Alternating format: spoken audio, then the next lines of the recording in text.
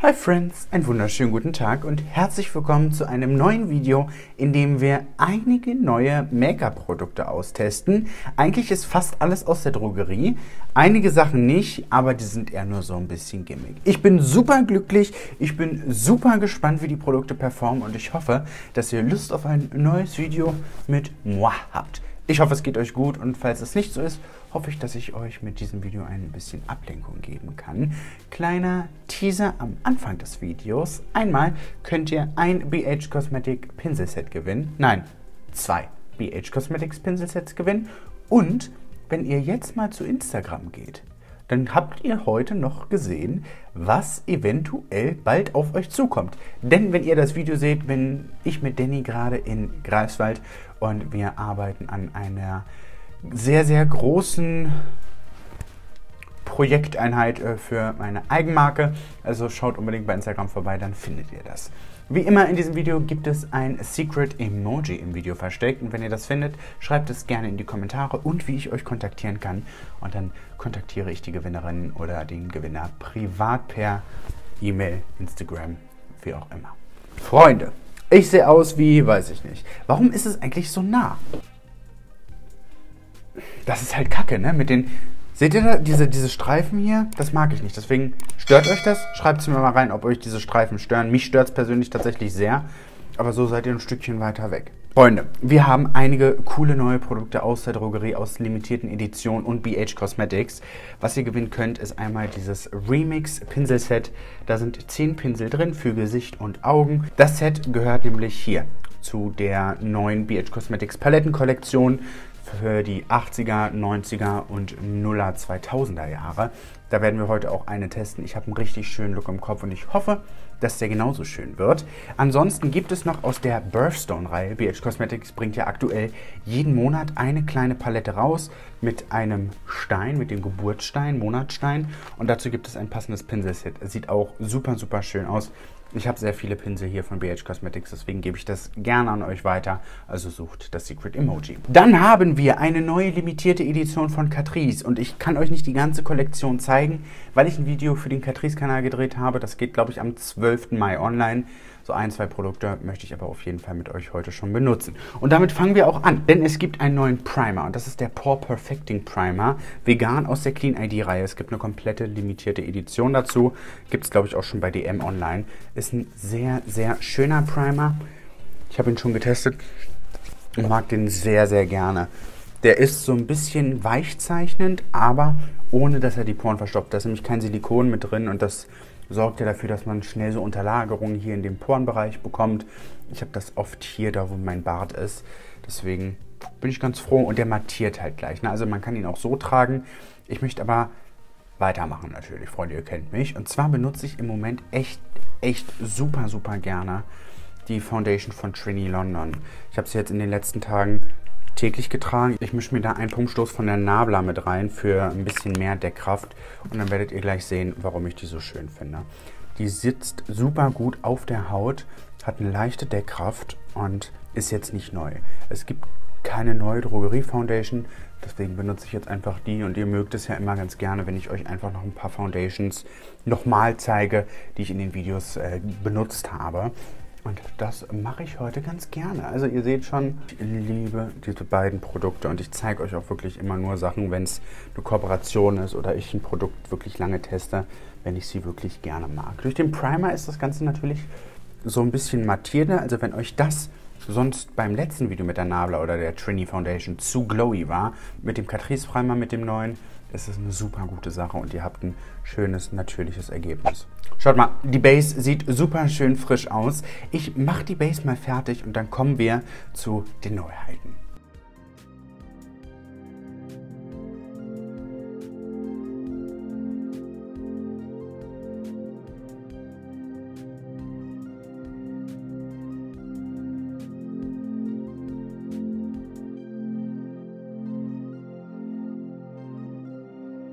Während ich unter meinen Augen noch so ein kleines bisschen Bacon lasse, möchte ich euch doch noch ein neues Produkt aus der neuen Clean ID Reihe zeigen, was wirklich super, super cool ist. Und zwar gibt es einen neuen Bronzer und der ist riesengroß. Ich liebe den. Es gibt ihn in zwei verschiedenen Farben.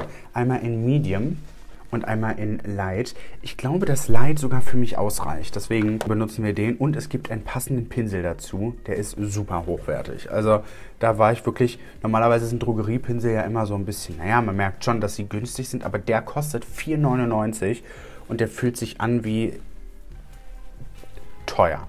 Das Schöne bei dieser Clean ID-Reihe ist, dass da kein Mikroplastik, keine Silikone, keine Mineralöle, keine PEGs, keine Acrylic-Polymere, keine Parabene und kein exotisches Sourcing von Palmöl. Also Catrice achtet darauf, dass wenn Palmöl in den Produkten verarbeitet wird, es so angebaut wird, dass es der Umwelt nicht zusätzlich schadet. Schaut mal, wie schön dieser Bronzer auf der Haut gleitet und auch der Pinsel ist wirklich super, super gut. Ich liebe den.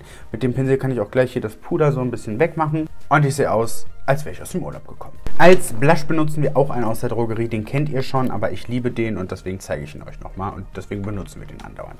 Das ist der Cheek Lava Blush von Catrice. Oh, der ist so wunderschön. I stand. I love it. Willkommen zu den Lidschattenpaletten, Freunde, und die zeige ich euch. Und zwar haben wir hier einmal die 90s Palette. Die ist ein bisschen bunt, sieht einmal so aus, aber wir haben auch immer wieder schöne matte Töne zum Arbeiten für den Alltag beispielsweise. Also die sind eher so Richtung Pastell, sieht super, super cool aus. Auch das Packaging gefällt mir sehr, sehr gut. Dann haben wir die 80s Palette, die ist auch extrem bunt und da sind natürlich keine wirklichen Alltagsfarben mit drin, ne? also so braun und so. Das fehlt hier, aber ihr habt hier zum Beispiel die Farbe Lip Sealed und Thriller, die kann man gut für den Alltag tragen. Aber, und jetzt die schönste Palette, wirklich, die ich seit langem gesehen habe, die hätte auch ich machen können. Ich liebe, liebe, liebe diese Farben und die werden wir heute benutzen. Übrigens, falls ihr es noch nicht wusstet oder es vielleicht vergessen habt, mit dem Code MAXIM10 könnt ihr immer, immer auf alles bei BH Cosmetics 10% online sparen. Schaut da gerne vorbei, ich setze euch den Link einmal unten rein. Pinselsets sind reduziert, selbst auf reduzierte Artikel gilt dieser Code und ihr spart einfach nochmal 10%. Ja. Kann man ja auch mal machen. Ich hole euch ein Stückchen heran und dann geht's los. Und wir starten. Ich wollte eigentlich eher so die Brauntöne benutzen, ne? aber ich glaube, das machen wir nicht. Wir machen heute einen Cool-Toned-Look. Und dafür gehe ich als allererstes mit einem fluffigen Pinsel in die Farbe Hollerback. Übrigens, die Namen sind alle so benannt wie Titel aus den 2000ern. Wir haben Sexy Bag, wir haben Pokerface, Crazy in Love, Twerk. Die gebe ich mir erstmal so als Transition Shade hier in die Lidfalter mit einem fluffigen Blendepinsel. Einfach um das Lid so ein bisschen vorzubereiten und die Crease neu zu schattieren.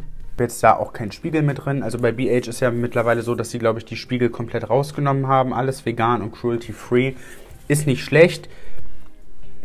Wartet ab, Freunde. Wir brauchen keinen Spiegel mehr in den Paletten.